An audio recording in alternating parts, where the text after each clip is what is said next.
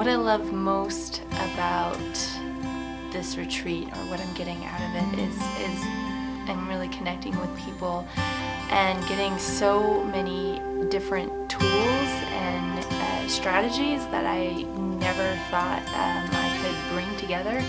Um, so many different ideas to really take my business to the next level.